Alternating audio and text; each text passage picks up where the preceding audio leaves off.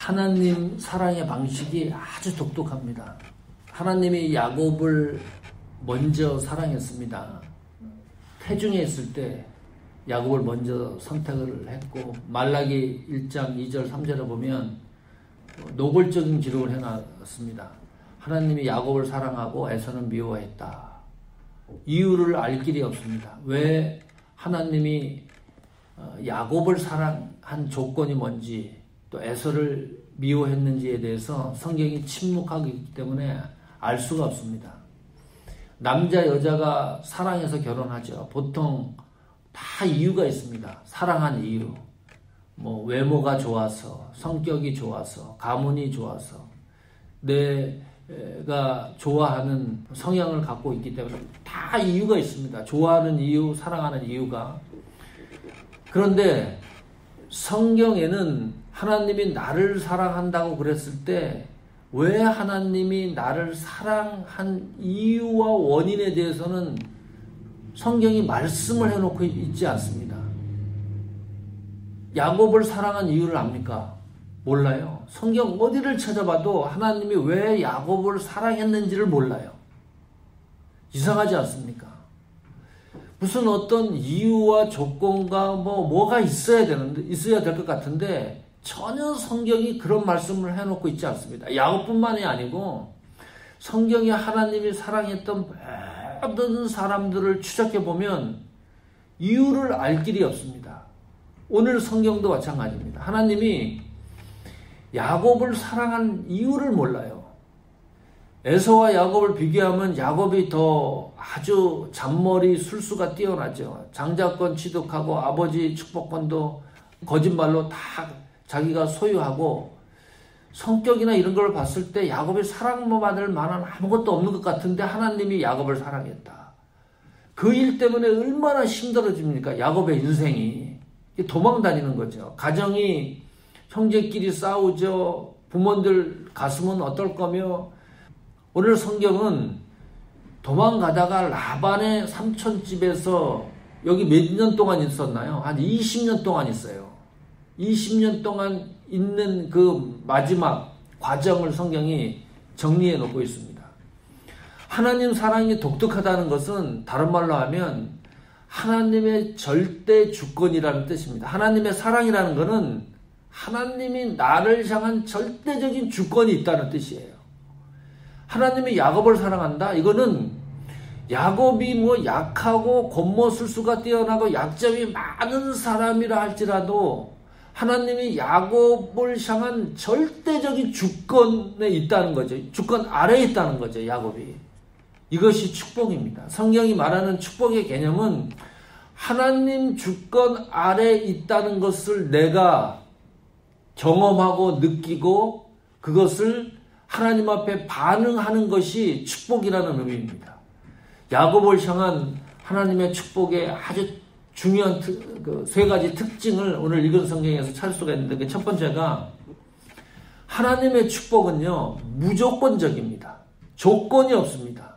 31장 1절에 야곱이 라반의 아들들이 하는 말을 들은즉 야곱이 우리 아버지의 소유를 다 빼앗고 우리 아버지의 소유로 말미암아 이 모든 재물을 모았다 하는지라 그랬습니다. 흠정역 성경은 거부가 되었다 하는지라 이 거부라는 표현이 더 잘된 번역입니다. 이 거부라는 말은 영광, 번영이라는 뜻입니다. 너무 유명해진 거예요, 야곱이.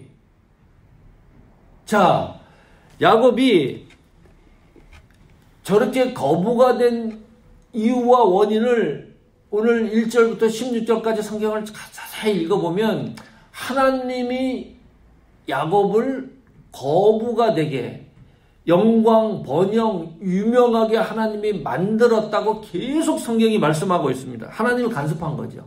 3절, 5절, 7절, 9절, 11절, 16절 거의 매절마다 하나님이 야곱과 함께해서 하나님이 야곱을, 야곱을 섭리해서 저렇게 만드셨다는 기록이 계속 나오거든요. 다시 말하면 야곱이 거부가 된 것은 하나님이 하신 일입니다. 그런데 사람들은 몰라요.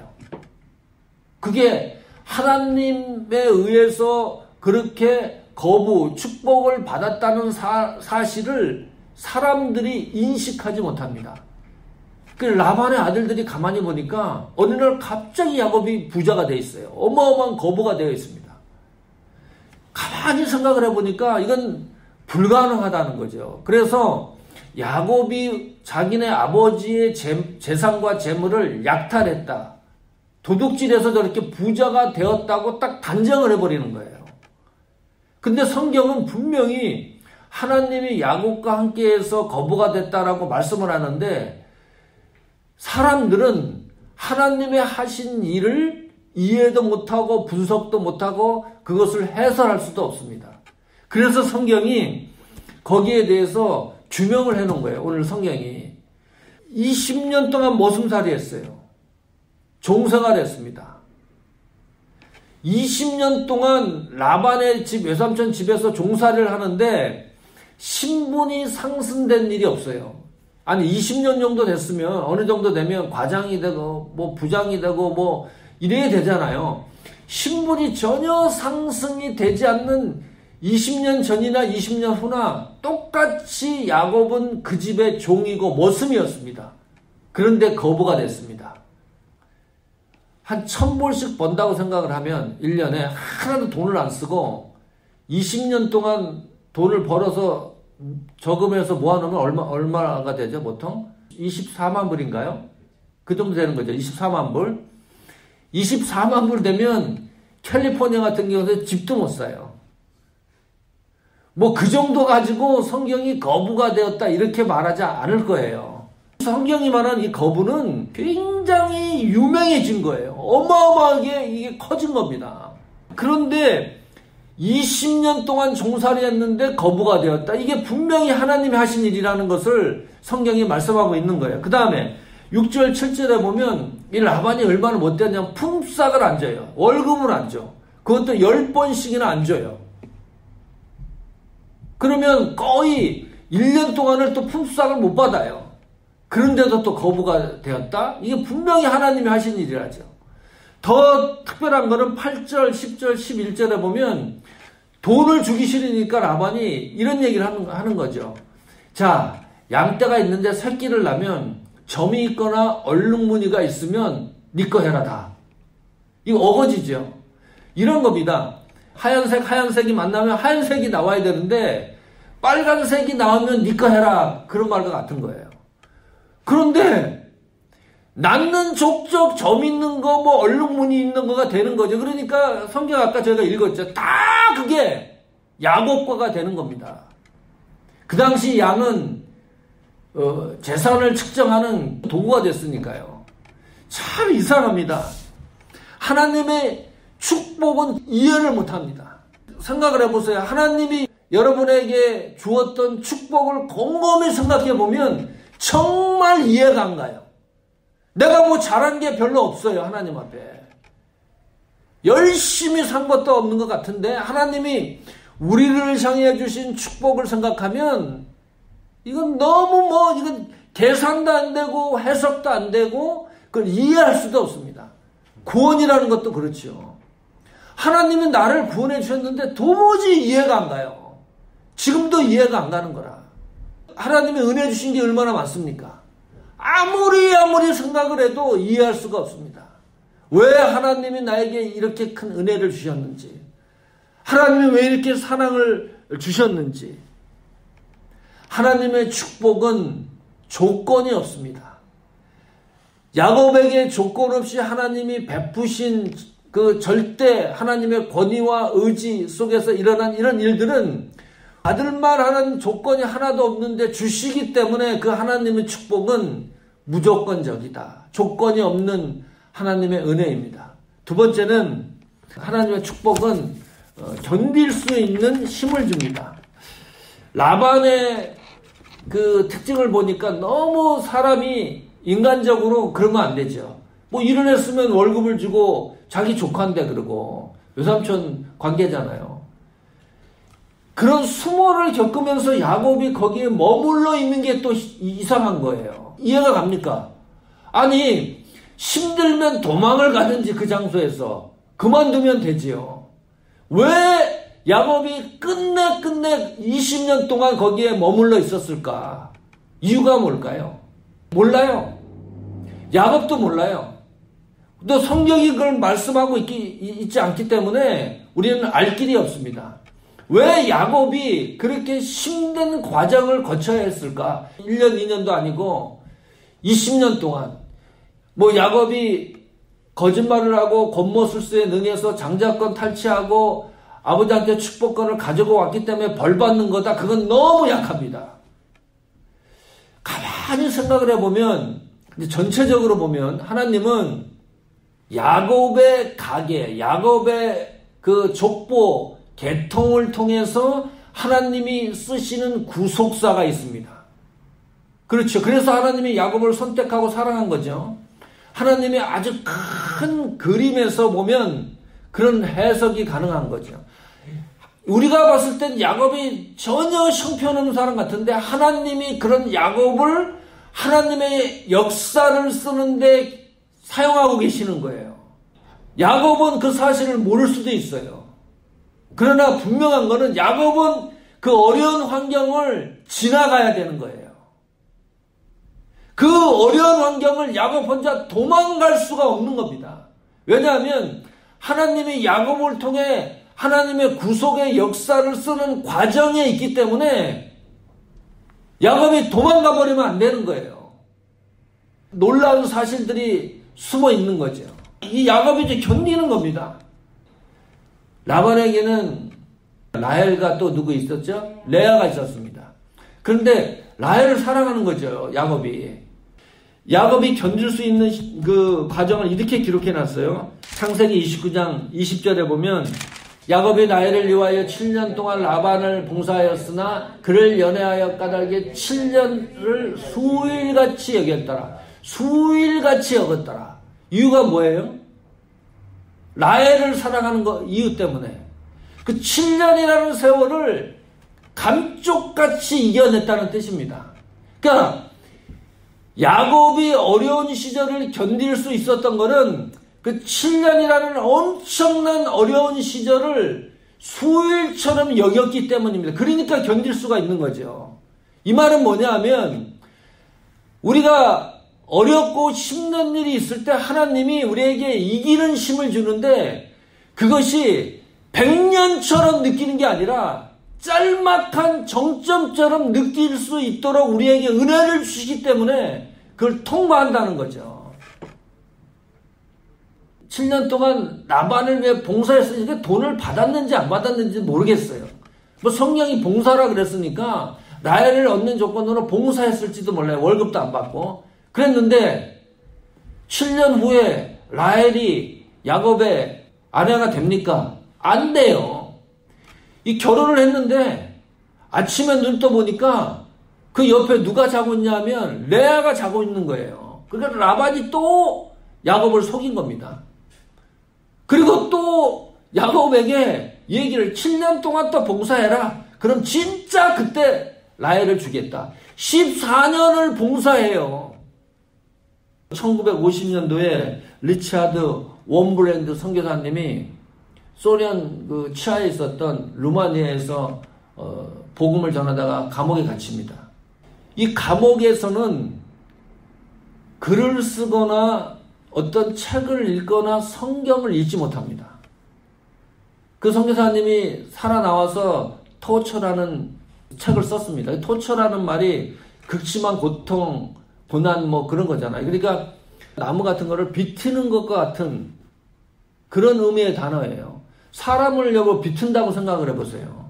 구부러뜨린다고 생각해 보십시오. 이거는 견딜 수가 없는 거거든요. 그만큼 견딜 수가 없었다는 거죠. 가장 슬픈 거는 14년 동안 글을 못 읽게 하니까. 성경도 못 읽게 하니까. 감옥에서 그 상황을 그 책에서 그 적어놓은 걸 보면 사람이 살 수가 있을까? 그 정도입니다. 14년 동안 다 까먹는 거죠. 하나님 말씀을 뭐 애워놨다 그래도 이것이 한계가 있으니까요. 그런데 한 가지 말씀이 뚜렷하게 기억나는 것이 그 말씀이었다 그래요. 오늘가 읽은 저 말씀입니다. 창세기 29장 20절 말씀.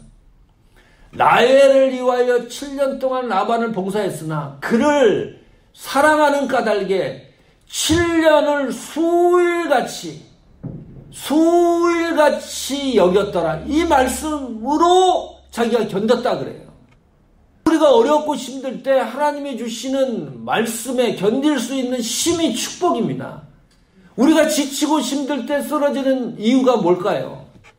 생각해 보세요. 그냥 극복해도 되는 상황인데도 쓰러지는 사람이 있는가 하면 우리 생각엔 저 사람은 반드시 쓰러져야 된다. 반드시 죽어야 된다. 저 사람은 도저히 살 수 없는 사람이다. 그런 고난 가운데서도 다시 소생하는 사람들은 하나님이 주시는 7년을 수일처럼 같이 느낄 수 있는 은혜를 주시기 때문이에요. 이게 놀라운 축복입니다. 그 다음에 세 번째는 하나님의 축복은 우리의 헌신을 결코 잊지 않습니다. 참 묘합니다. 31장 3절에 보면 여호와께서 야곱에 이르시되 내 조성의 땅 너희 족속에게 돌아가라. 잘 보십시오. 내가 너와 함께 있으리라 하신지라 그랬습니다.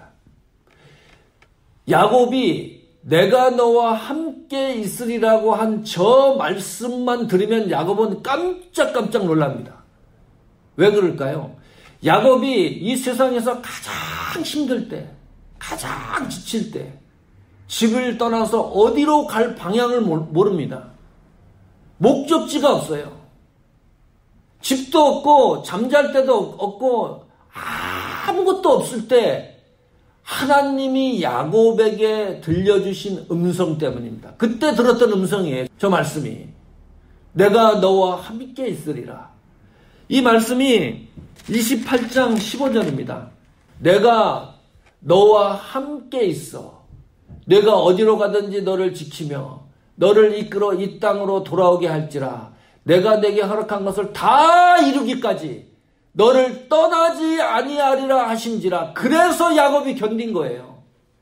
저 말씀 때문에 저것이 하나님의 약속이기 때문에 라반의 그 외삼촌 집에서 엄청난 일들을 겪어가면서도 견디기 시작한 겁니다. 하나님의 약속을 믿고 저기에서 내가 너와 함께 있어. 내가 너와 함께 있겠다. 하나님의 약속을 저 말씀을 들은 데가 장소가 어디입니까? 베델입니다.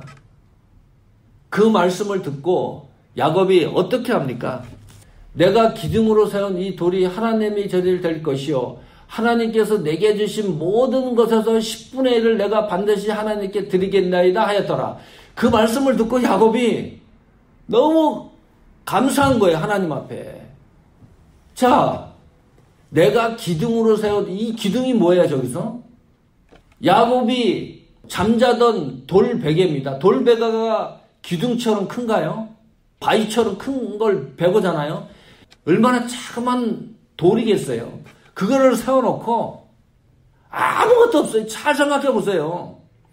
야곱의 그 한 말씀 듣고서 저런 행위를 하는 겁니다. 자기가 잠잤던 들판에서 베델의 장소에서 돌을 꺼내 들고서 기둥을 세워놔요.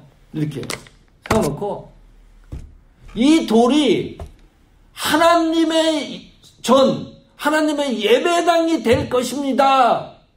이렇게 헌신하는 겁니다. 아무것도 없어요. 야곱이 수중에 1센트도 없어요. 돈 아무것도 없어요. 그런데 아무것도 없는 사람이 내가 반드시 10분의 1을 거부가 되면 하나님께서 내게 주신 모든 것에서 10분의 1을 내가 반드시 하나님께 드리겠습니다. 이렇게 서를 하는 겁니다. 아무것도 없는데. 이 코미디도 아니고요. 아니, 베개를 가지고 기둥을 세워놓고 이것이 하나님의 전이 될 것입니다. 아무것도 없는데 내가 돈이 벌리면 하나님 앞에 물질로 최소한 10분의 1은 하나님께 드리겠습니다. 저 서원을 하나님이 기억하고 있습니다. 이게 놀라운 사실이에요. 그래서 야곱에게 어떻게 얘기를 하느냐? 야곱이 갈 때마다 야곱에게 말씀하실 때마다 나는 베델의 하나님을 강조합니다. 우리가 읽은 성경 31장 13절에도 보면 나는 베델 하나님이라. 내가 거기서 기둥에 기름을 붓고 거기서 내게 서원할 기억하는 거잖아요 하나님이 28장은 베델에서 야곱이 그냥 이야기한 것을 하나님이 기억하고 있어요 지금 일어나 이것을 떠나서 내 출생지로 돌아가라 하셨느니라 나는 베델의 하나님이라 우리가 읽지는 않았지만 창사기 35장 1절에 보면 하나님이 야곱에게 이르시되 일어나 베델로 올라가서 거기 거주하여 내가 내 형 에서의 낯을 펴하여 도망하던 때에 내게 나타났던 하나님께 거기서 재단을 쌓아라 하신 것이라 그랬습니다. 놀라운 일입니다. 오늘 이 말씀을 생각하면 하나님의 축복은 무조건적이다. 우리가 이해할 수 없는 하나님의 그 놀라운 은혜가 있기 때문입니다. 이 하나님의 축복에는 우리가 힘들고 지칠 때 견딜 수 있는 힘을 주신다. 힘들고 지칠 때는 오늘 이 말씀을 생각해 보세요. 야곱을 생각해 보세요. 머슴이라는 그 종의 신분도 20년 동안 똑같고 거짓말을 쳐서 봉사를 하고 월급도 못 받고 그것도 1, 2년도 아니고 나이를 얻기 위해서 7년 플러스 또 7년을 봉사하고 이게 뭐 인생이 이런 인생이 어디 있어요? 그뿐만이 아닙니다. 우리가 없을 때, 아무것도 없을 때 하나님 앞에 우리가 결단하는 것, 그 소원이지. 하나님과 약속이잖아요. 그 하나님 앞에 약속하는 것을 하나님이 기억하고 축복하신다는 사실입니다. 오늘 이 말씀이 저희들이 지치고 힘들 때 위로가 되고 격려가 되기를 축복합니다. 없지만 어느 순간에 하나님이 어떤 일을 할지 몰라요. 그렇기 때문에 견디는 겁니다. 야곱이 라반의 집에서 견디는 것처럼 중단하지 않고 견디는 이유는 하나님의 약속이 분명하기 때문입니다. 그 약속이 우리 교회와 여러분 신앙생활 속에 반드시 성경의 야곱을 거부로 만든 것처럼 그런 은혜와 역사가 나타나기를 간절히 축복합니다.